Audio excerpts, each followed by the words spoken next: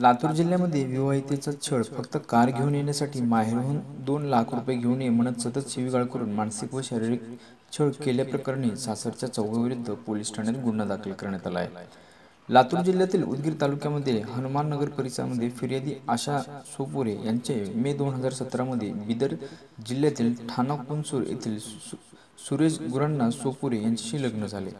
लग्नानंतर एक महिना सासरच्या मंडळींनी चांगले नांदवले. त्यानंतर आरोपी पती सुरेश सुपोरे तसेच सास सासरा गुरांना तसेच सासू चंद्रमा आणि नणन शांताबाई सुपरे यांनी संगमत करून कार घेऊन येण्यासाठी माहेर माहेरहून दोन लाख रुपये घेऊन ये म्हणत फिर्यादी विवाहित आशा सोपोरे यांच्याशी छळ सुरू केला.